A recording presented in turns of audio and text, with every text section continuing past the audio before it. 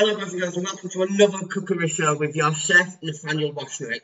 Now, as you know, I have teamed up with Mental Health Group, which is It's Worth Talking About, which was my new top by the way, thank you so much guys. Um, basically showing you how to cook on a budget, healthily and simply. So, you know, like if you're suffering from mental health or anything like that, it's easy meals that you can cook and you can reheat over the next few days, and it's cooking on a budget, so hence the name. And also for the general public, which is can cook with me easy tasty meals, one and two pages, and we've got YouTube, Nathan Wachnuik. And also I've got my own catering page, which is what we Come Cater to You, which is for functions, weddings, whatever you want. Yeah, so moving straight on. So I cooked up a joint of pork the other day in the slow cooker, which is pulled pork. Um, I have used it in various different things. I've had it in a hot sandwich. I had it in a baguette yesterday, like absolutely stunning with some mustard, Dijon mustard. So today I'm going to be using it to make something just a little bit Christmassy and a little bit nice because I know you're all getting in the festive mood now. So I know people love pasties. Now, a lot of people got the pan bakery. I, I wouldn't recommend it. I mean, I'm not knocking the place, but the, the, the cleanliness, the hygiene, and what they're actually probably putting in the pasty is not what you think it is. So, I'm going to show you something simple, quick, and easy to make at home, and it'll be so tasty, yeah? So, I'm going to do two different types of pasties. So, I've got cranberry, which is from Aldi. It's cheap as chips. And we've got apple. You know where we're going with this. But also I've got a box of sage stuffing, yeah? Which you can pick up for about anything between 20p to a pound, yeah? Anyway, you go. And obviously, a lot of people have been saying you don't ever cook anything vegetarian. Yeah, so I'm going to cook something vegetarian for you today, which is something, a little bit of a twist that I like to do, yeah? Now, cauliflower cheese I find very boring. So I'm going to do cauliflower, broccoli, and leek cheese. Sometimes you put shallots and potatoes in, but the beauty of it is you can change it up. You can put carrots in, you can put whatever you want to put in it, guys, yeah? So, keep it simple. So, basically, what we're going to do is, I'm going to wash sure everything's set up, and I shall be back in a second. Boom. And I'm back. So, basically, I've pre-chopped some leek, which is, I love leek. It's basically a family of onions, yeah?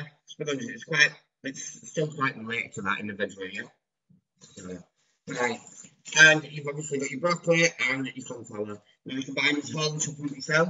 Now what I'm going to do is, what I'm going to show you as well is, I'm going to hard boil them in hot boiling water from the kettle, yeah? And I'll tell you for why. Because what people don't realise is when you're cooking um, your broccoli or your cauliflower, any veg, it loses its nutrients and it loses its flavour because you overboil it, yeah? So what I'm going to do. There just like so. Not overcooking it, I'm not overboiling it on the hob. I'm leaving it just sitting there just to soften, yeah? Just to soften the veg. Just like so. Just be careful when you're popping them in, obviously, because it's piping, piping hot water. Yeah? And this is like, almost like blanch your veg out. Just like I said, be careful. Right, so there you go. And all I'm going to do is I'm going to leave that there. Just like that. It will soften.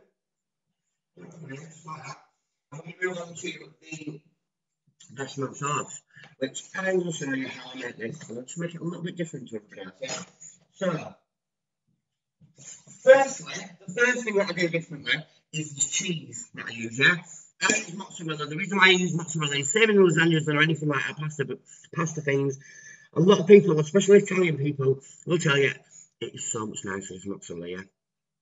And I think it's got less fat in it. Yeah, it's high in protein, which actually does seem like it's high in protein. I've got this from Asda. Pick it up from Aldi for 150. Dirt cheap, yeah, dirt cheap. Now, all I'm going to do with this is I'm going to add full fat milk, yeah, just want it creamier, into your pan, just like so. Good look of it. Don't believe you've got any cheese sauce left. And it's too much for your parents. I'm going to do this size.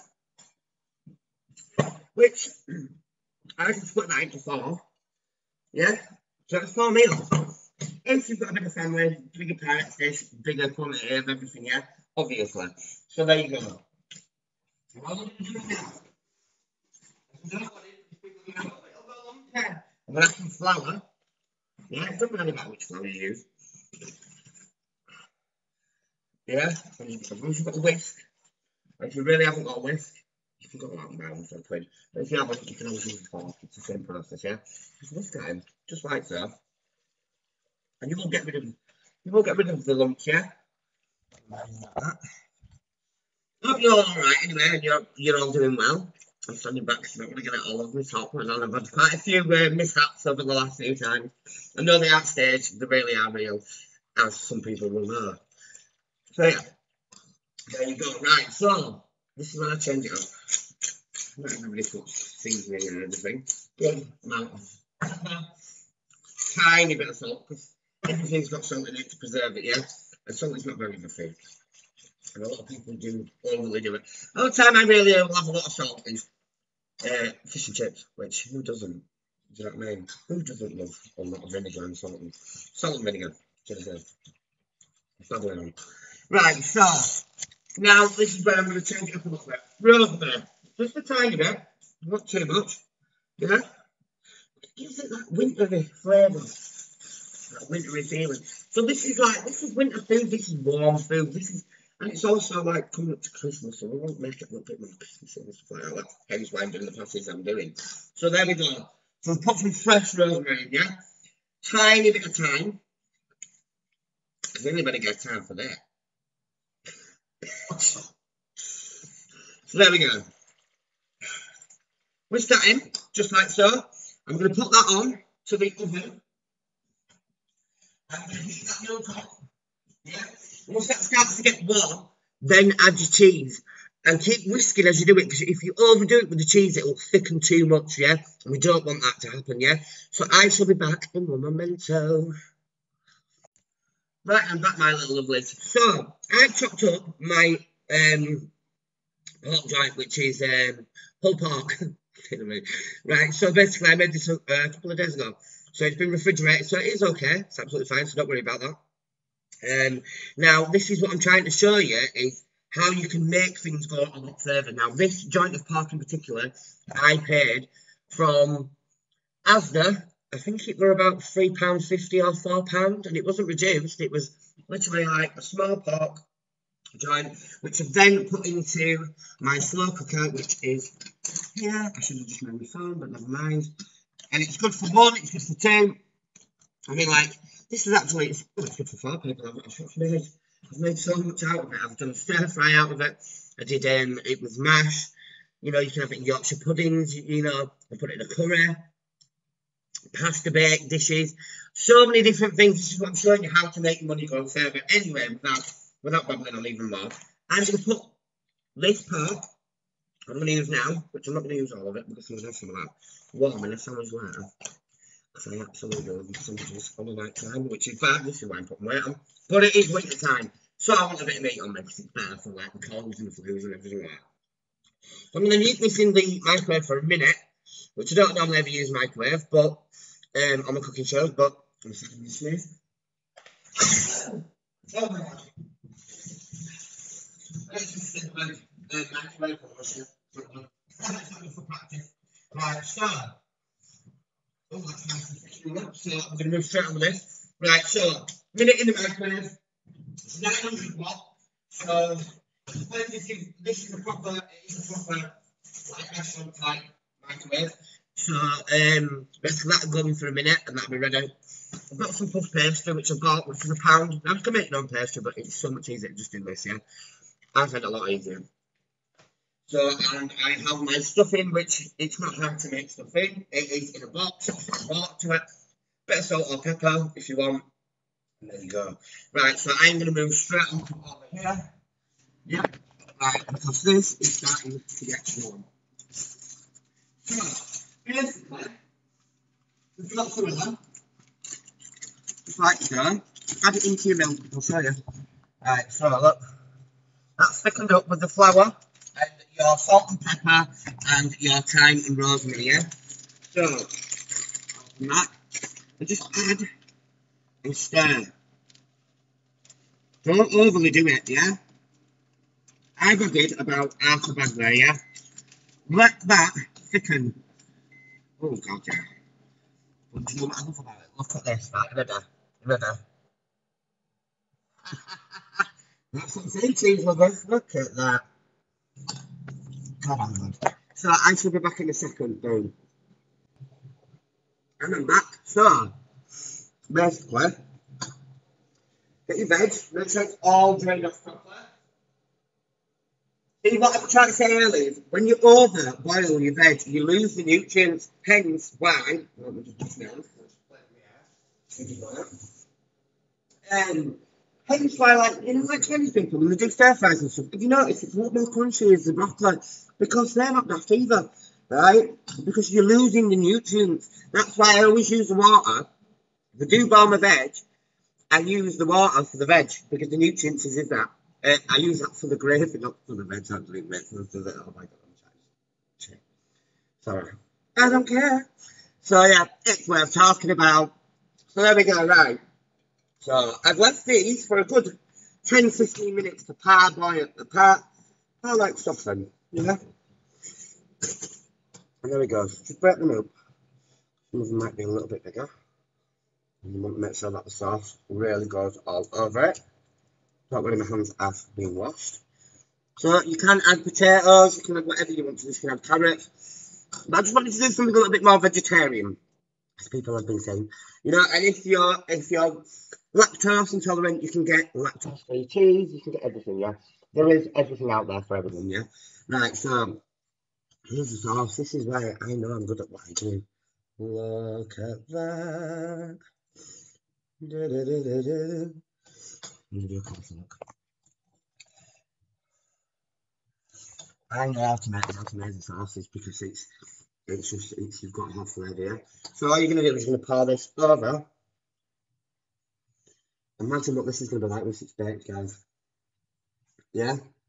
Just over like that. You see the herbs throughout it as well.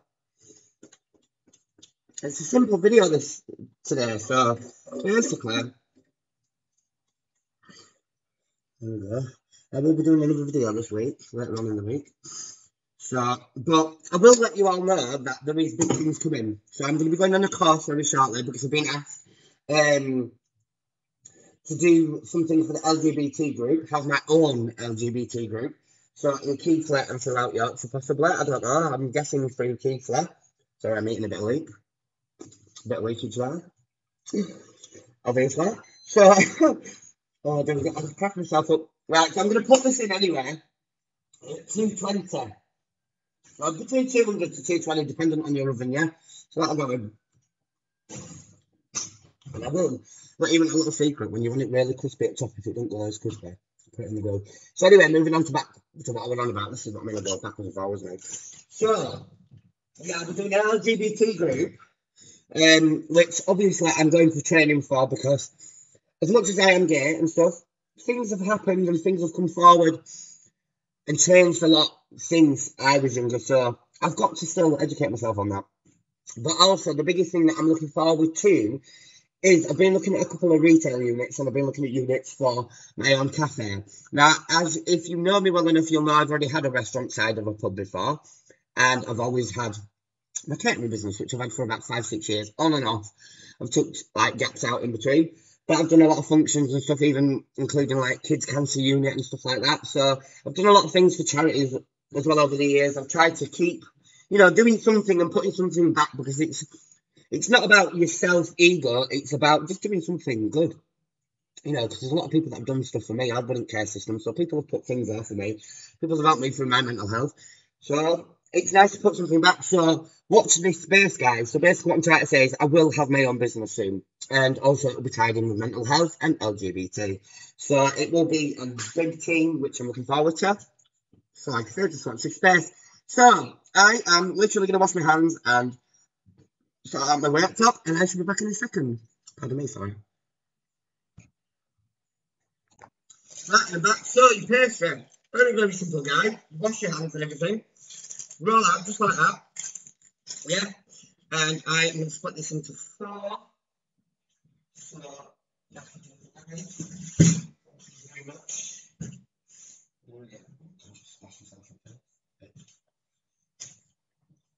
So can cut that down the middle, just like so. And then, same process. Bit almost like sausage rolls. Well, maybe not. Ignore me, I'm babbling to myself. Do it on time. It's from having ADHD and also having borderline personality disorder with seven other personalities, including myself. So it's always it's always fun. So I will say the people suffering from depression, people suffering at home alone, and it is hard, and I get it, it is hard, it really is. So basically, I know it sounds really daft, but you know when it's getting darker earlier, um, it affects your moods and stuff. So I have throughout my flat candles on. I have fairy lights on. I have loads of different bits of lighting. Now, not everybody can afford that, but candlelight is pretty cheap. And all my fairy lights are battery operated. So, there you go. You know what I mean? But, um, just little things like that. And music. I get a warm bath every night. Try to put some lavender in it or try some different oils or something like that. There's loads of different things that can help you to, to help with mental health and stuff. Because this time of year, we all get a bit bogged down, we all get a bit fed up. Do you know what I mean? Plus, it's a lot of pressure and high stress for Christmas coming along. So, you know, just simple little things. Take some time out for yourself. Pamper yourself a little. Listen to your favourite music. Don't let things get you down. Talk to somebody. If you can't talk to somebody, if nobody to talk to, I'm always here. My message, my inbox is always open for all of you. I've been doing this for years, and I've been helping people for years. I don't mind all of it because it helps me. It helps me tick better, yeah? So, I shall be back in a second because I need to blow my nose. And, yeah. Alright, so now I'm back. So, stuffing is done. Make sure it cools down because on the pastry it will melt it. That's the chance to cool down for a two. The reason I took is to get rid of any germs or anything like that, which it will obviously cook more there anyway. Right, so basically, you pick this up from any store, cranberry. Not everybody likes cranberry, you can have apple. Or just about, don't have any. You know, if you don't want that sauce, you can put mint in, you can put whatever. But if you don't like it, you don't have to have it. I'm just showing you something a little bit festive, a little bit more Christmassy. Because we're getting to that bit now. And everybody's ramming it down the throat. I didn't mean it like that. Oh, God. God, I'm such a bench. But I, it's literally getting rammed down everybody's throat. Do you know what I mean? Don't even any better. What did you say like that? Like Christmas, it's like everybody, every year, it gets, I'm sweating now because I'm getting embarrassed. Um, it's getting worse, it's getting earlier every year. I can't speak. Right? To continue anyway. Right, so cranberry, yeah? Apple, yeah? Just like that. Put on half your pastry. You put mustard in it, you can put whatever you want in it, my little lovelies. Right, yeah? And then your stuffing, which I'm going to flatten out, just like so, yeah? The reason I tell you why, because you want them to, obviously putting your meat in as well. Oh, God. Can't pretty well, mate. I'm not well with it. It's sending me out, Caroline. So, yeah, so I hope you're all doing well anyway. I hope you're all staying safe. I love you much. I love you all very much. Just I love you much. So, and it is very simple. Look at that. Look at how simple that is, yeah? Now, the pièce de resistance, put your part there. Like so. There's no fancy way of doing it, really. Suppose don't over, don't over um, pack them though. Not close proper. Well, that's about right, yeah? And what I'm going to do is I'm going to fold them, right? I'm going to wash my hands and I should be back in a second. And I'm back. My mouth's full apart. Right. So. Fold it over just like so. Squash down. If you've got any bits coming out, don't worry. Just like so. And blend it down just like that. Now, the reason why I'm so against like breads and you don't really know what's going on. You know what I mean? And I've seen a lot of documentaries and stuff, and I'm like, don't like knocking companies and stuff like that, but a lot of the time that I've been, it's just been stone cold as passes and stuff, and it's just not nice. Not just that, it's kind of rewarding making something yourself, do you know what I mean? It's one of them, and you go, oh my god, I actually made myself. I? So, you know, not everybody likes making pastry. If, if, if you're one of them that's, you know, if you're snob and you like to make pastry, not snob, but if you want to, you know, really vamp it up, I've got a food mixer and stuff, but I'm showing you something that's simple. You know, this is the whole point of this show. Just to make it a little bit more simple and make it a little bit more easy. And people say they absolutely adore my show because I swear, and because I'm just me, I'm real. Which couldn't get more real than me, really. But yeah, so you can see just how simple that was, that process, yeah? See that? Right? So, now, I'm going to wash it with an egg, yeah?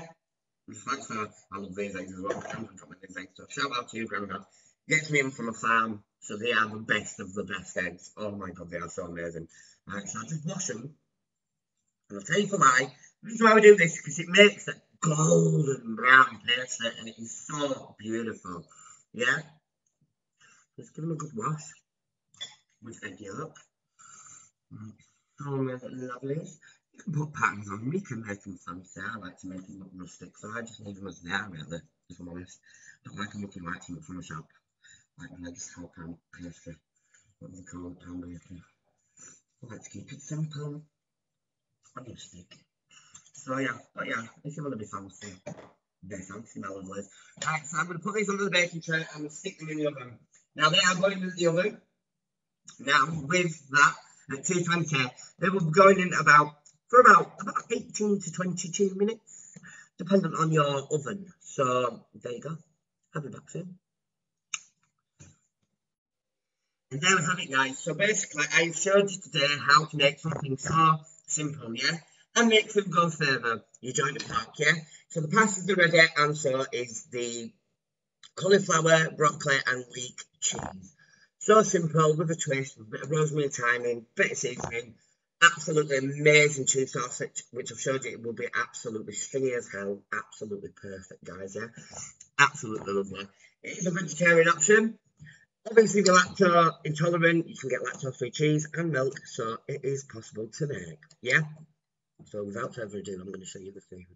So thank you for watching, guys. Um, hashtag it's worth talking about. Here we go. Um, hashtag it's okay to talk hashtag mental health, hashtag come cook with me easy tasty meals, and come cook with me easy tasty meals too. Um, hashtag let me come, let me cater to you, and also you can find me on YouTube, Nathan Wachnuik, and I do have my own catering business, which is let me cater to you. Watch your space because I will have my own place soon enough, hopefully. Fingers crossed. And also watch your space for the LGBT group that I will be hopefully starting up soon. Also got a bit of training and stuff. So there we go, guys. Same here. We go. Look at that. Absolutely beautiful. Yeah? And your beautifully golden pasties. Beautiful. Which is pulled pork, cranberry and stuffing. And pulled pork, applesauce and stuffing. If you don't like them, you can also try Dijon mustard or whatever you want on meat. So, if you need any tips, please don't hesitate to come to me stay safe, stay happy, and if you ever need to talk, it, guys. Thank you so much for watching. Take care.